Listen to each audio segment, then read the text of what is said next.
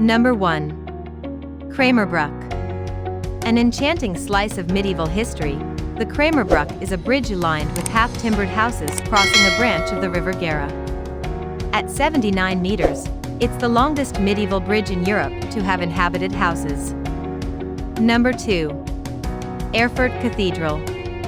On the brow of a hill stands Erfurt's magnificent Gothic cathedral, built mostly during the 1300s and 1400s. There has been a religious building in this place since 742, when St. Boniface founded a church. Number 3. Domplatz.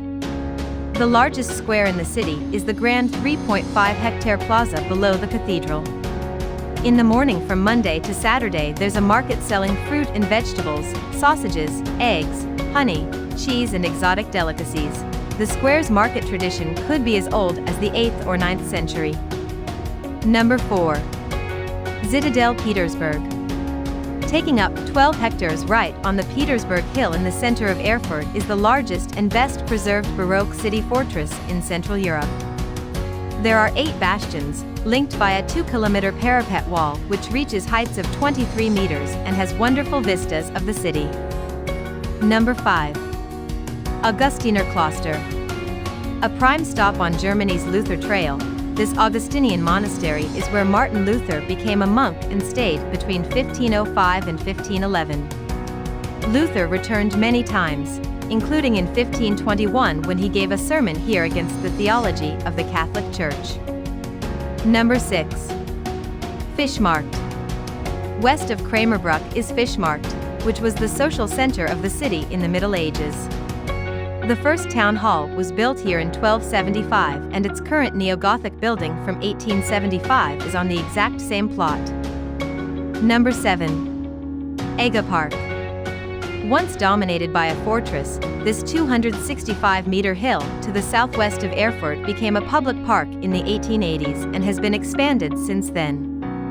In the time of the GDR, the garden was developed for the International Gardening Exhibition in 1961. The architecture and landscaping for the project by Reinhold Lingner is celebrated today.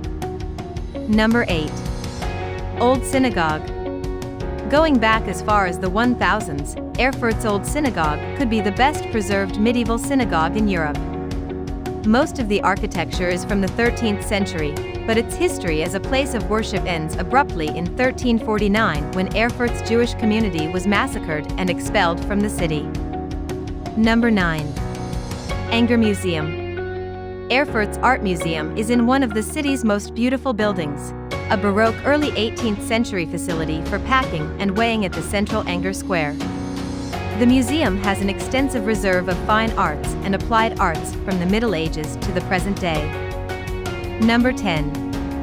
Wenigemarkt. At the eastern end of the Krämerbrücke is another cute square, which has roughly the same proportions as Fischmarkt on the opposite bank of the Gera.